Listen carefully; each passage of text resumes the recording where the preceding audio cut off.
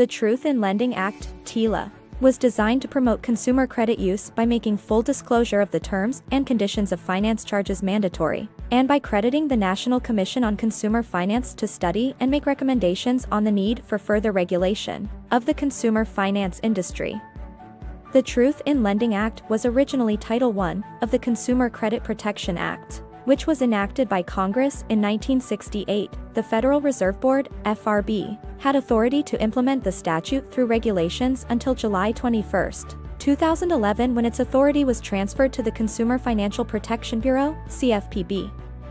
Its authority was established pursuant to provisions enacted by the passage of the Dodd-Frank Wall Street Reform and Consumer Protection Act in July of 2010. The TILA introduced an annual percentage rate calculation that became mandatory for all consumer lenders. Creditfixrr is the best DIY credit repair software. Follow us on all social media at Creditfixrr for more consumer law and disputing tips.